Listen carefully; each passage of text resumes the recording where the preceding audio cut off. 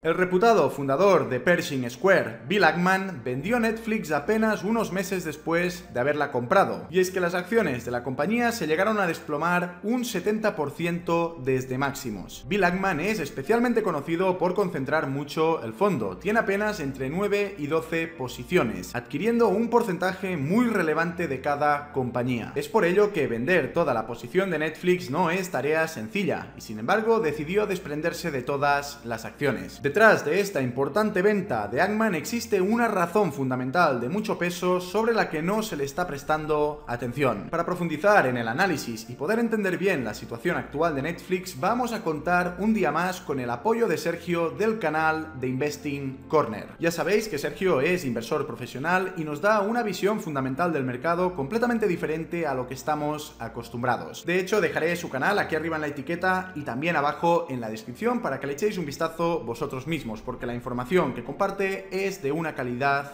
enorme. Empecemos.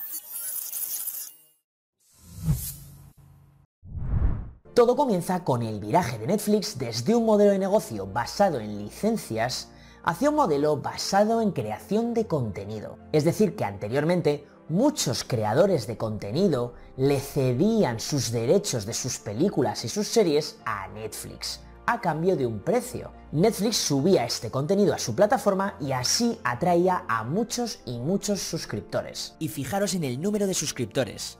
Netflix pasó de tener 21,5 millones en 2011 a los 222 millones en el Q3 de 2021, un incremento de 200 millones en apenas 10 años.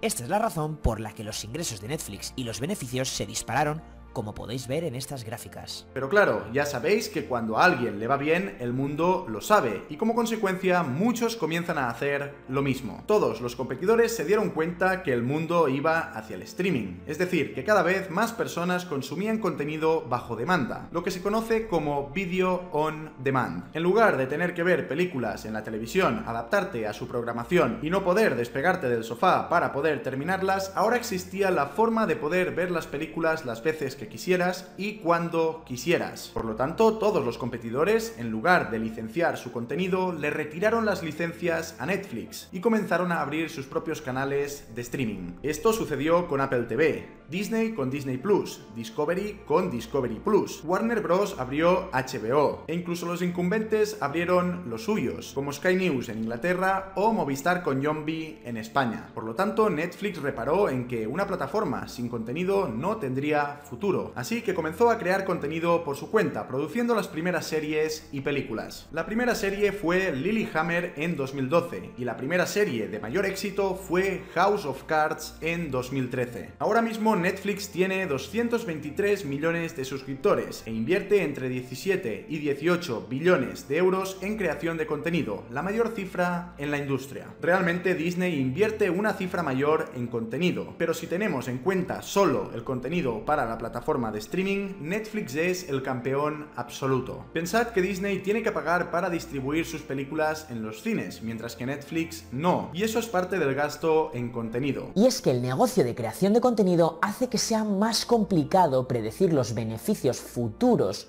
de esa compañía. En primer lugar, porque tienes que poner el dinero por delante, sin saber, sin tener garantías de si vas a poder recuperarlo o no. Al final, tú estás produciendo películas, estás poniendo dinero y no sabes si va a ser un éxito o un fracaso. En segundo lugar, porque es un negocio de precio. Si Netflix decide subir los precios, eso bajará y alterará el número de suscriptores, bajando. A diferencia de otros negocios que pueden subir precios sin alterar los volúmenes de venta. Y en tercer lugar, porque hay cada vez más competencia. Todo el mundo en la industria está haciendo exactamente lo mismo como os ha explicado Ricard anteriormente. Entonces, ¿qué es lo que veía Bill Ackman para comprar Netflix? En que Netflix estaba creando una marca como la tiene Disney. Crear una marca es diferencial. Es por ello que el crecimiento de la plataforma de Disney Plus ha sido tan brutal casi adelantando a Netflix en número de suscriptores.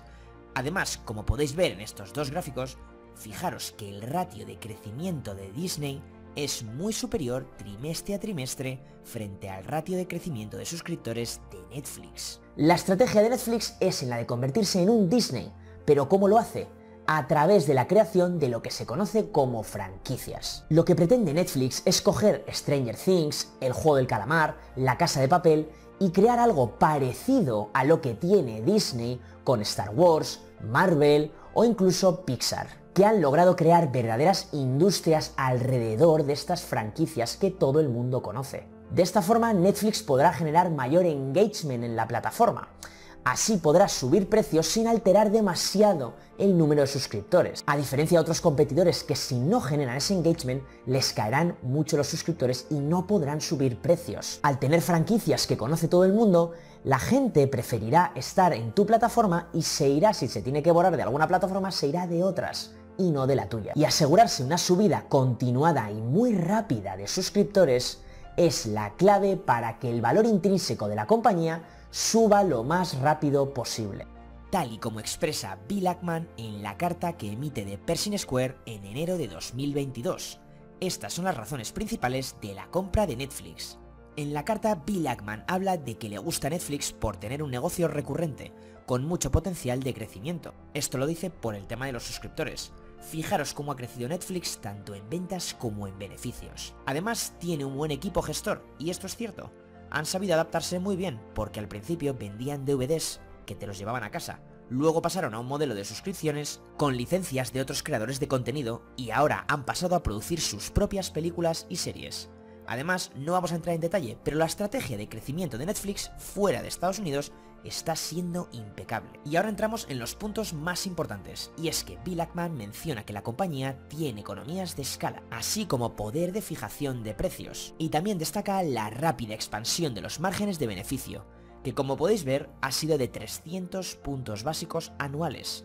Este incremento tan rápido de los márgenes es generado a causa de tener escala, es decir, a raíz del incremento tan acelerado de los suscriptores. Por último menciona la mejora del Free Cash Flow, pero esto no lo vamos a ver en este vídeo. Viendo esto parece que las razones son convincentes, sin embargo el 20 de abril de 2022, menos de tres meses después de haber comprado Netflix, Bill emitió una carta a sus partícipes del fondo para comunicar que vendía totalmente las acciones. Ahora veremos en detalle qué es lo que le preocupaba tanto, pero la razón fundamental está en la pérdida de visibilidad de los beneficios futuros. Para justificar su decisión, Bill Ackman dijo lo siguiente, requerimos un alto grado de predicción en el negocio en el que invertimos. Somos conscientes de que la estrategia de la empresa es la correcta, pero ahora hay muchos posibles resultados distintos, por lo que nos cuesta ver que cumpla con los requisitos de una posición importante en la cartera. Y ahora lo que nos tenemos que preguntar es a qué se refiere cuando habla de la falta de visibilidad de los beneficios futuros. Pues al incremento de la competencia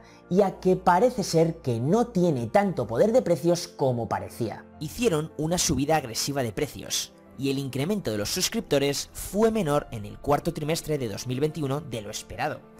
Perdieron suscriptores en el primer trimestre de 2022 y esperaban una mayor pérdida de suscriptores de 2 millones en el segundo trimestre de 2022. ¿Y por qué la pérdida de suscriptores es tan tan importante? aparte de lo evidente de que parece que el negocio no va tan bien como parecía. Por esto que dice Bill Ackman, de lo que se conoce como apalancamiento operativo. A la luz del enorme apalancamiento operativo inherente del negocio, los cambios en el crecimiento de los suscriptores tienen un impacto muy grande en el cálculo del valor intrínseco de la compañía. No vamos a extendernos demasiado en este concepto, pero solo ten claro que una compañía con un apalancamiento operativo alto significa que un pequeño incremento de las ventas implica un gran impacto positivo en los beneficios, y viceversa. Un pequeño descenso de las ventas tiene un impacto negativo mucho más grande en el beneficio, reduciendo el margen de beneficio, lógicamente. El apalancamiento operativo de Netflix es muy alto. Al fin y al cabo, los gastos en la plataforma no se incrementan en la misma proporción que los ingresos conforme aumenta el número de suscriptores. Cuanto más suben los suscriptores, más dinero gana Netflix y sin embargo los costes apenas suben.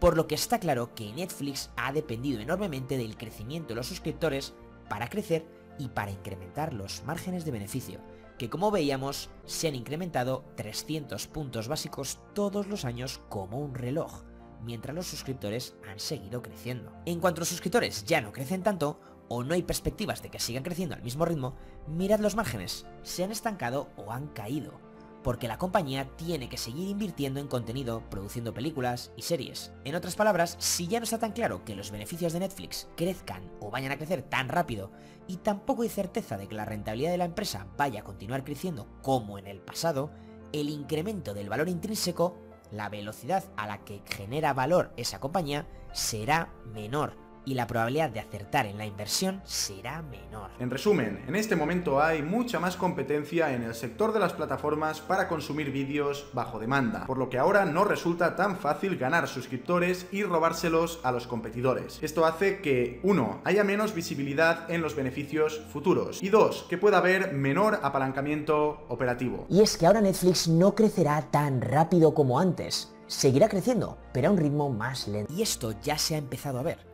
Fijaros en los ratios de crecimiento actuales frente a los anteriores. Y pasa lo mismo con los márgenes. Como hemos comentado, no van a incrementarse ni mucho menos a la rapidez que inicialmente lo hacía. Esto es lo que quiere decir Bill Ackman sobre la visibilidad y el apalancamiento operativo que antes le iba a favor y ahora le va en contra, por el tema de los suscriptores. Bill Ackman no duda de que la estrategia de Netflix actual sea la correcta, tal y como explica en su carta. Simplemente es que de ahora en adelante predecir los beneficios futuros de la compañía va a ser más difícil, va a ser más complicado. Y como el apalancamiento operativo de la compañía en el futuro podría ser menor que en el pasado, entonces el incremento de valor intrínseco de la compañía año a año será más lento. Si te ha gustado el vídeo, recuerda que nos apoyas un montón si nos dejas un like. Y sobre todo, no te olvides de apoyar también el canal de Sergio, porque aporta un valor brutal. Dejo el enlace aquí debajo en la descripción. Muchas gracias por seguirme un día más y nos vemos en el próximo vídeo.